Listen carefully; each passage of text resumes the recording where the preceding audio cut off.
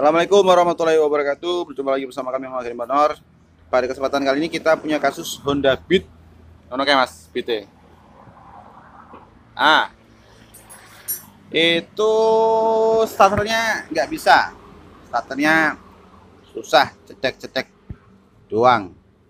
Padahal kondisi sudah kita ganti macam-macam, ya, termasuk ininya juga baru kayaknya, tapi bukan bukan kita yang ganti. Nah, terus ADS juga sudah kita beresin aman semuanya. Tapi nggak bisa. Terus eh, apa namanya noken as oke. Okay. apalagi ya?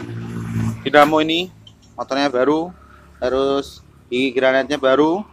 Gigi yang besar juga baru tetap nggak bisa. Nah ini rencananya mau kita upgrade kayak racingan.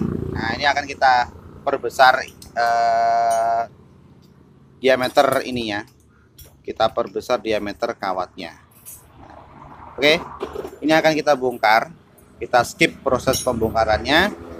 Terus nanti uh, akan kita gulung ulang. Oke?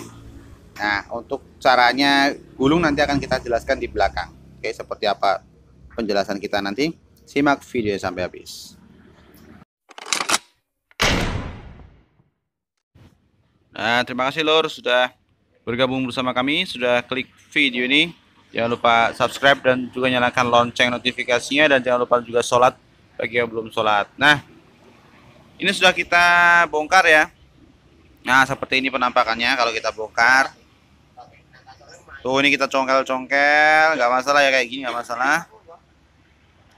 Nah terus kalau nanti susah biasanya bagian tengah atau bagian dalam itu susah. Itu bisa kita gerinda. Tuh kita pakai gerinda ya. Mecer-mecer tuh Nah, ya kita gerinda bagian ininya.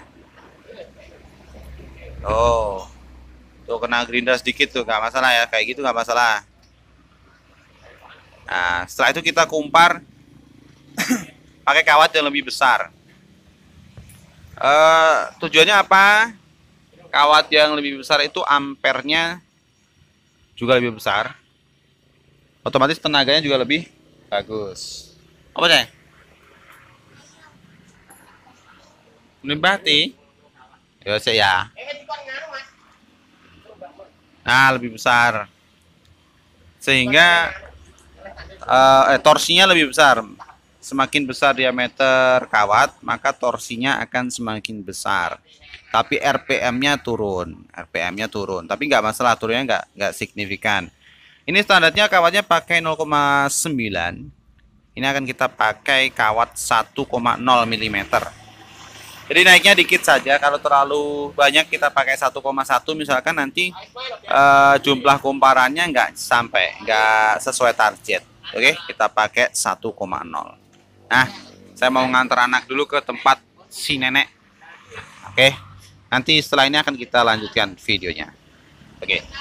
Nah ini setelah kita gulung ulang menggunakan kawat 1,0 mm ya.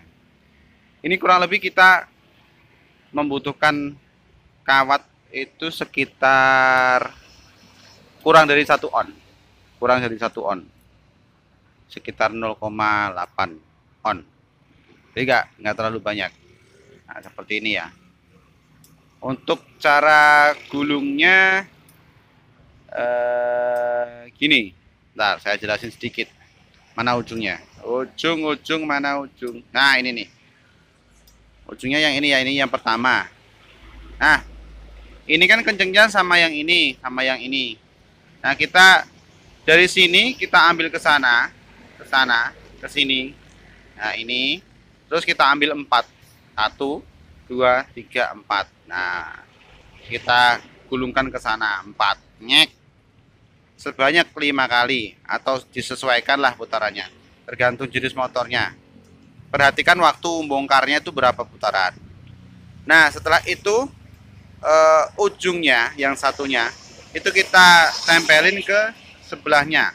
Sebelah kanannya yang ini. Nah begitu terus selanjutnya. Sampai selesai akhirnya ujung yang terakhir nempel di pangkal yang pertama ini tadi seperti itu kurang lebih ya. Seperti itu. Jadi diambil empat. Kalau di sini kencengnya ini berarti nggak langsung empat ke sana tapi diambil satu. Satunya yang sini. Nah kalau kencengnya yang awal ini ini terserah bisa diambil di mana saja. Nah terus satu dua tiga empat. Seperti itu ya. Nah setelah selesai menggulung jangan lupa kita kasih lem ya. Tuh kita kasih lem seperti ini. Nah karena kalau nggak kita kasih lem yang namanya uh, apa namanya motor starter ini kan berputar maka akan terdapat gaya sentrifugal yang bisa membuat si kumparannya ini terlempar keluar. Nah kalau nggak pakai lem ketika kumparannya itu terlempar keluar maka dia akan terkena magnet dan kumparannya akan rusak. Seperti itu. Jadi buat teman-teman yang selesai uh, mengumpar atau melilit bisa dipakai lem. Kita pakai lem porting atau lem Epo putih. Tapi untuk teman-teman bisa pakai lem yang lainnya terserah. Yang penting lemnya harus keras ya. Jangan lem yang lembek. Jangan lem gasket jangan. Nah, kalau perlu nih bagian sininya juga dikasih, bagian bawah dikasih juga malah bagus. Oke, kita akan coba pasang. Uh, setelah itu akan kita review lagi hasilnya seperti apa. Oh ya, ini nanti kelemahannya semakin besar lilitannya dia RPM-nya RPM-nya turun tapi torsinya nambah tapi yang jelas uh, konsumsi konsumsi baterainya atau konsumsi akinya itu akan lebih besar. Jadi akinya gampang ngedrop. Jadi untuk pemakaian uh, jarak dekat misalkan kalau untuk ibu-ibu kan sering ya dari rumah ke pasar misalkan. Atau dari rumah ke mana starter terus matiin starter matiin kayak gitu maka akinya akan lebih gampang ngedrop. Nah itu sebaiknya kalau sudah dirubah kayak gini sering-sering dipakai untuk jarak jauh. Ya minimal 10-20 km lah Nah, seperti itu.